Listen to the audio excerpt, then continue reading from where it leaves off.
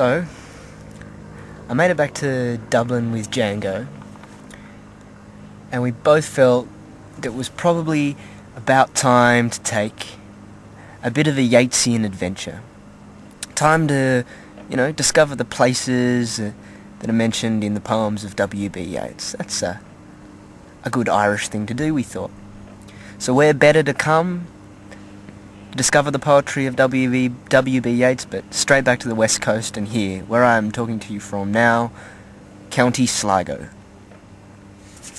So, we booked ourselves into an eco lodge called the Gyreum.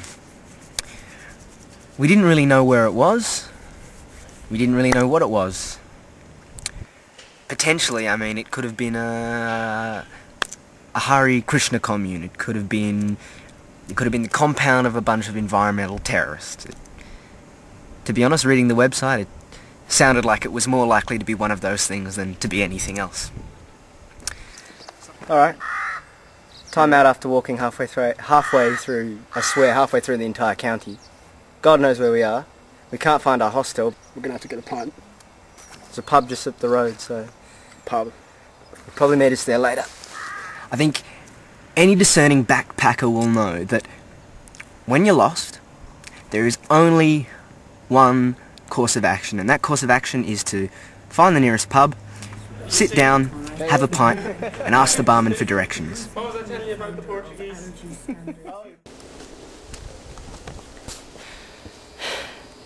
We're back walking again after a little intermission at the pub where we met a really interesting local called Connor, who strange enough had been to Tasmania and had lived in Melbourne for a while. Small world.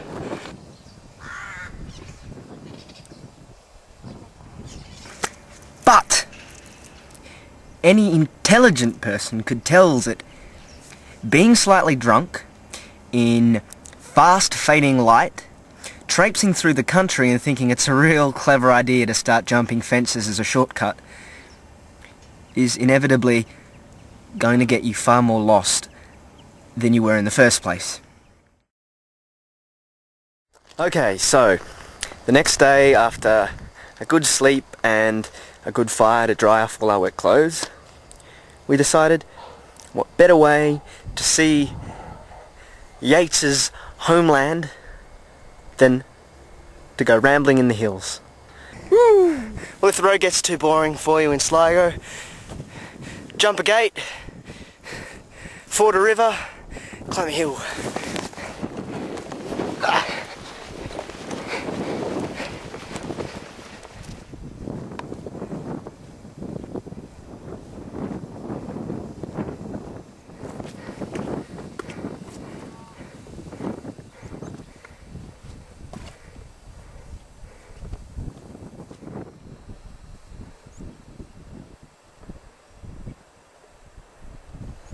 It's a, little strange though.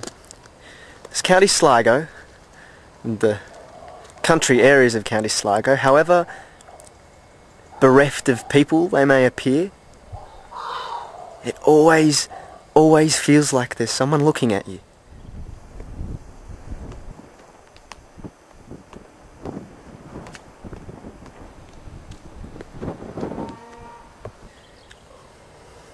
No, it's, it's true the country in County Sligo has this ancient beauty to it. Wherever you go, there's dolmens and cairns. If you look off into the distance, you can see the mountains, and it's really wherever you go, the myth and the legend of the place is all around you. Now, as Django and I were rambling around the hills, at the site of the mythological battle of Moytura, I had the chance to reflect on Yeats and how the landscape inspired him to write what he did write. I don't know. Maybe to some people that was just a hilly field full of standing rocks and cow shit. But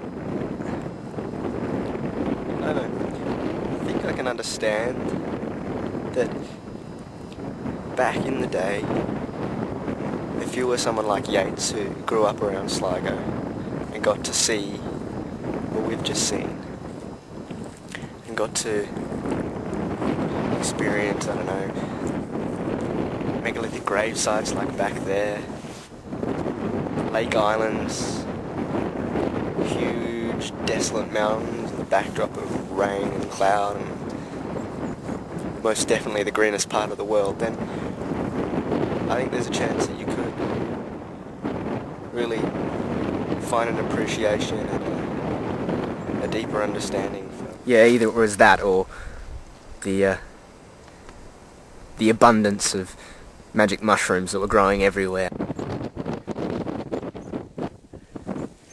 No points for guessing what that was. So we'd seen some of the area that had inspired Yeats. We'd seen some of the mythological sites of Ireland, learnt some of the legends, kind of immersed ourselves in it all. So what was there to do next? Well, it's obvious, isn't it? Go and meet the man himself.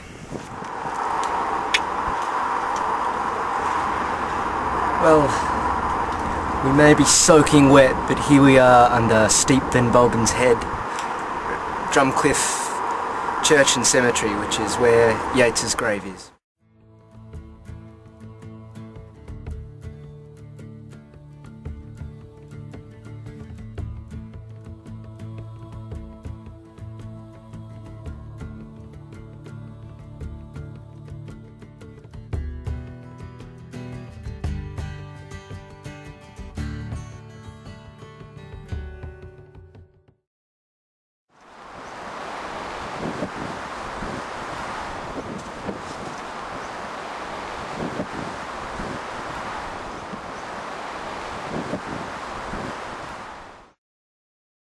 I can understand why Yeats chose to be buried in Drumcliff. It really is a beautiful church next to a beautiful river right underneath the slopes of Ben Bulben, which is an amazing, amazing mountain.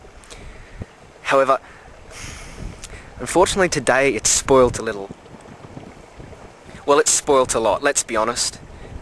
The N17, a big roadway, cuts right through the town and the people of Sligo have really loved to cash in on the whole Yeats draw card. I, I don't know, maybe Yeats is rolling in his grave because honestly, after my visit to the churchyard, I was a, a little surprised that they weren't, weren't charging us to see the grave. Hey, I guess if you're onto a good thing, roll with it.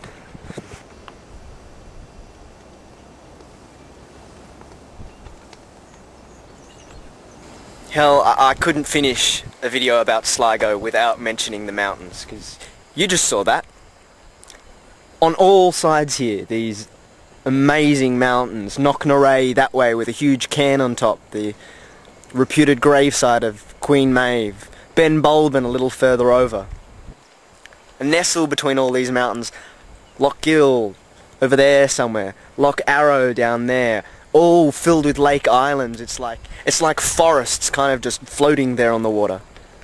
You know, if you're not interested in Yeats, if you're not interested in the the history and the mythology of Ireland, then hell, forget that. Still come to Sligo. Just walking around and looking around you, you can see you're in a pretty amazing spot. This place still is a bit of a secret to the rest of the world, and I think that's probably what gives it its charm and its character is that it's undiscovered. Anyway, now it's time to kick back and enjoy the pagan festival of Halloween.